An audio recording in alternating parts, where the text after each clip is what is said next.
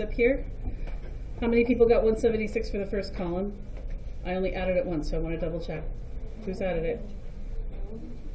No? I got two twenty-one. Two twenty-one? I thought it looked pretty low, cause I remember looking at the answer and thinking she wasn't that low of a percent. Did you get two fifty for the second column? Okay. There's two ways to find out what her percent of her grade is. And I want you guys to follow along with me as we do both ways. One is division. We could set this up as a division problem, two hundred and twenty-one over two hundred and fifty.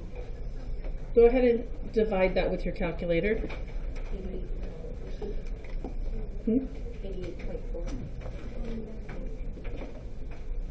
I got 0.884. How many people got that? Okay, I want you to write that down. And then, if we're going to convert it to a percent, what's the magic number that a percent is out of?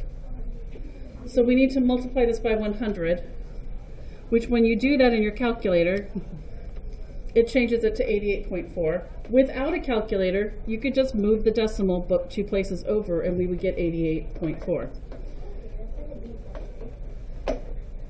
It's like a B plus. If she's playing basketball and she's got to have a C or better, she's doing okay, right? Here's the other way, and I'm going to keep pushing on this because it's useful beyond percents. We could set this up as cross multiplication. 221 over 250 is equal to something over, what's my magic number down here? Percents are always out of? 100. When I set this up as a proportion, which is one ratio is equal to another ratio, the first is always whatever we're calculating, and I always set up the second as my percent ratio. What do we not know? Well, we know because we just calculated it. We don't know what her grade is. If I cross multiply 221 times 100 and divide by this, it's going to give me the same number. I want you guys to practice that. 221 times 100 divided by 250. I want to see everybody calculating.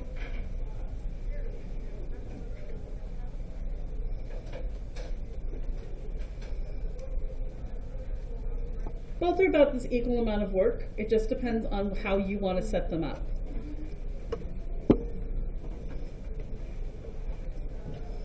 Okay, let's go ahead and turn the page to the reinforce.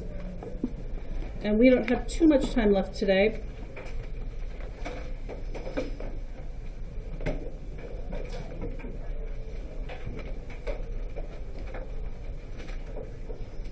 So I want us to start with this down here.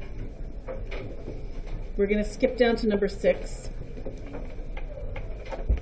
If this is my decimal, I need to multiply this decimal by 100 to get to the percent. Or move that decimal two places to the right. And the best way to do it if you're like, I'm not positive which way I'm supposed to move the decimal, put this in your calculator and multiply it times 100. And what are you guys getting?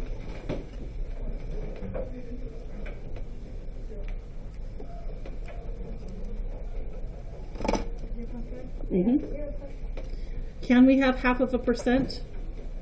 Yes. What would our ratio be then?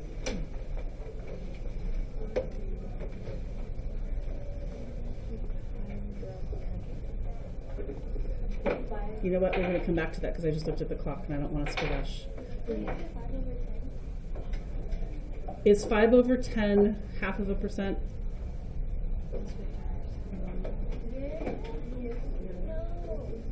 Keep thinking on that. I don't want us to rush through it, but let's go ahead and get packed up.